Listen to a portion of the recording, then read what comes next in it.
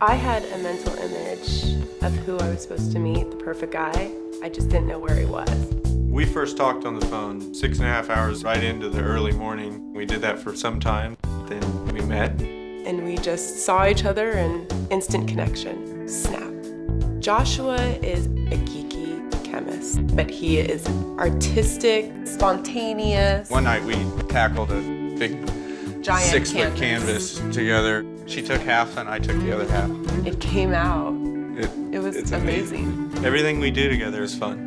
Building the store together was a blast. We're dancing at five in the morning with drywall dust all over us and mud and splatter paint. There's this part of my life now that felt like she should have been there the whole time. And now it doesn't matter about the past. She's here now, so we're gonna hit it full force. See how it feels to be matched based on compatibility. Log on and review your matches for free. eHarmony.com.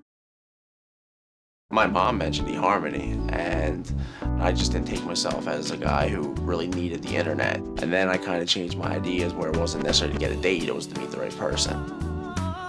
Log on and review your matches for free. eHarmony.com. At eHarmony, you don't scan through thousands of pictures looking for your perfect match. Where's the value in that?